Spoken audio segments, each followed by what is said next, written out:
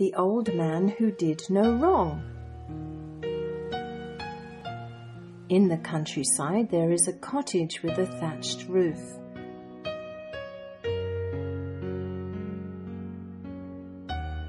There is a stork's nest on the eaves. The wall slopes and there are flowers in the window.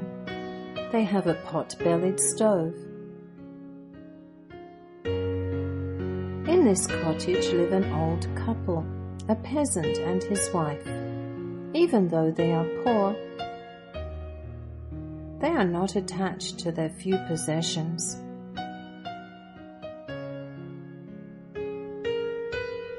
They have a horse.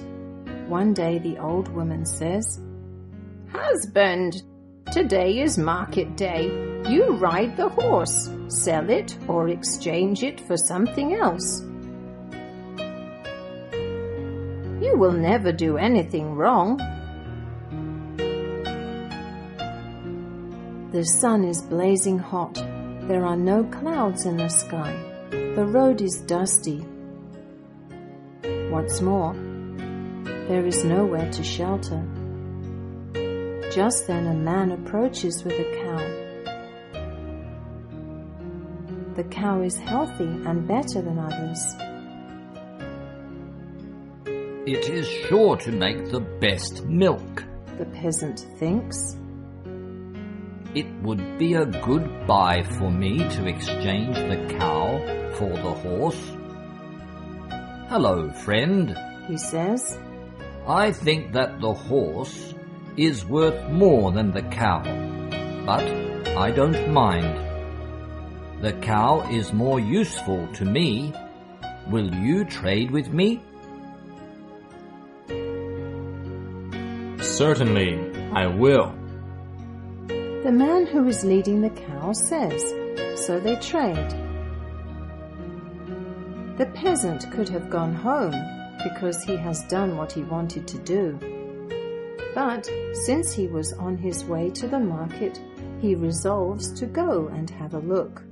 Therefore, he continues up the road with the cow. In no time, he catches up with a man who is leading a sheep, which is nice and fat, with good wool. I want this very much. The peasant thinks in his heart. It can eat the grass beside the ditch. In winter, it can stay with me in the house. Maybe a sheep is better than a cow. Then the peasant trades the sheep for the cow. After this, he leads the sheep onward. On the road, he sees a man with a big goose under his arm near a fence. The peasant says, You have such a big goose. Its feathers are thick and it is fat. If I tie it and put it in the little pond, it is good.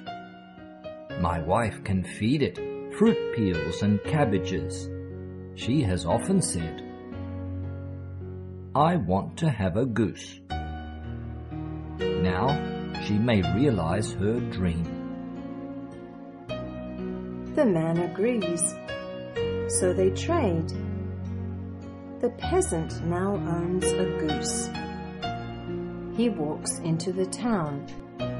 There are so many people on the road. The people and the animals are like rabbits in a warren. The peasant comes to a ditch next to the fence of the taxman's potato field. A hen is tied in the field. Seeing this, the peasant thinks, This hen is the best one which I have seen. It is better than the priest's hen. Oh my, I want this one. A hen can find grain and fend for itself. It will be a good buy if I trade the hen with the goose. May we trade? He says, Trade? The man says. Oh, that's not bad. So they trade. The taxman gets the goose and the peasant owns the hen. He has done a lot of business on the way to the market. It is hot and he feels tired and wants to eat and drink something. He walks toward a tavern. As he is going in, a seller is coming out. They meet at the gate.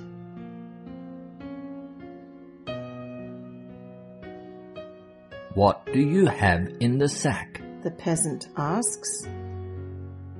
Mashed apples. The seller says. A bag of apples to feed pigs. The peasant says. There are so many. I wish my wife could see this. Last year, our apple tree just produced three apples. We stored them in the cupboard until they spilt out.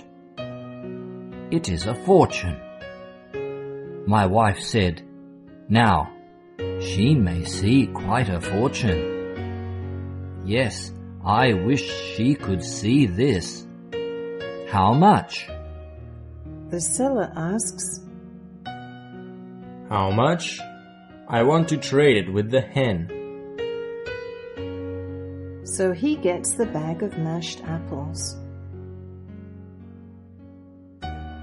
When he goes into the tavern to the bar, he put the apples near the stove. He does not realize that the fire is burning. There are so many people in the room, including the horseman, the dealer, and two Englishmen who are very rich. There is a sound. The fire is toasting the apples. What are those? Soon they know that the peasant traded the cow with a horse and continued to trade until he got a bag of mashed apples. Ah, When, when you go home, I am sure that your wife will hit you. The two Englishmen say. She will quarrel with you. She will give me a kiss. She will not hit me. The peasant says. My wife will say, My husband is always correct. They say. We can bet 111 pounds.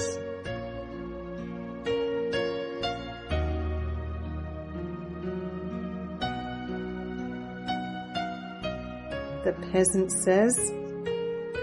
I can just bet a bag of mashed apples.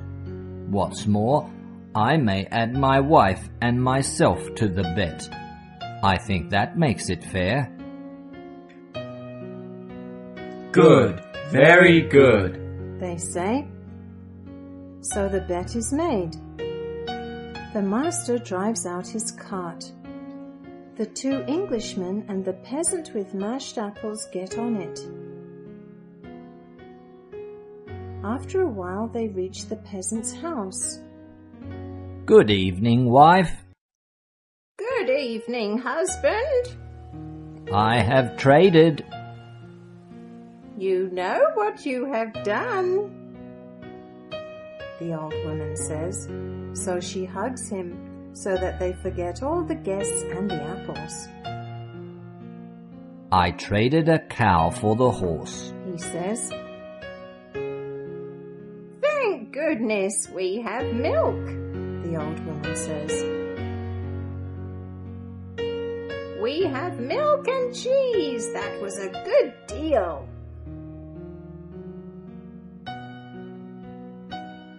Yes, but I traded a sheep for the cow. Ah, that is better. The old woman says. That was considerate of you.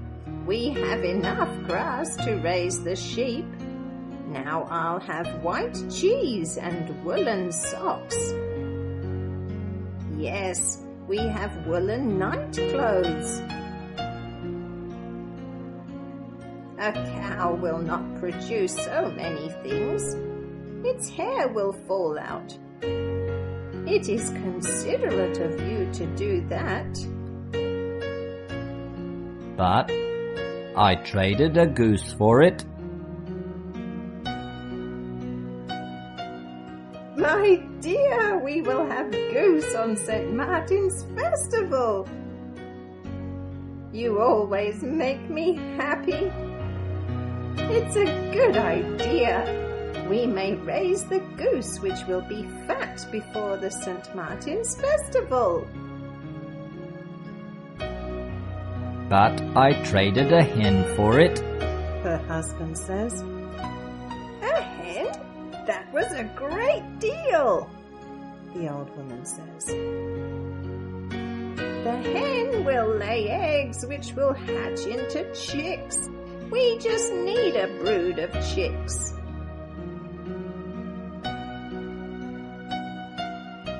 But I traded a bag of mashed apples for it.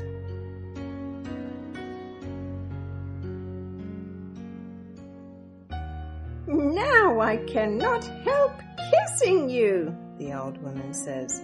Thank you, my good husband. Now I will tell you something. As you know, after you left, I planned to cook for you. I remember that pancakes are your favorite food, but I have no caraway seed. So I borrowed some from the school teacher. I knew they had some. But the teacher's wife is so mean. I ask her to lend some to me.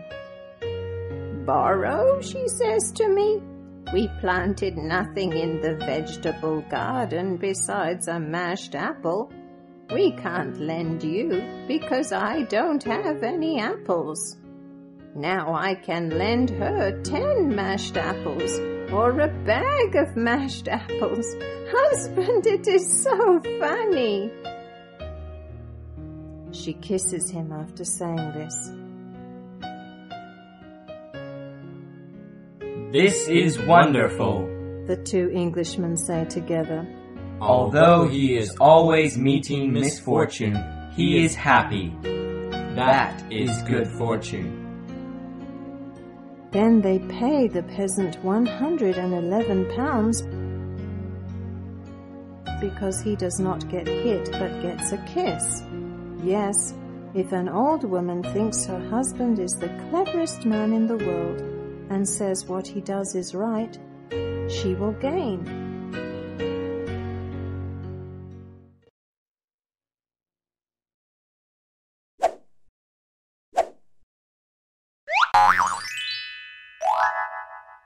Elephant English.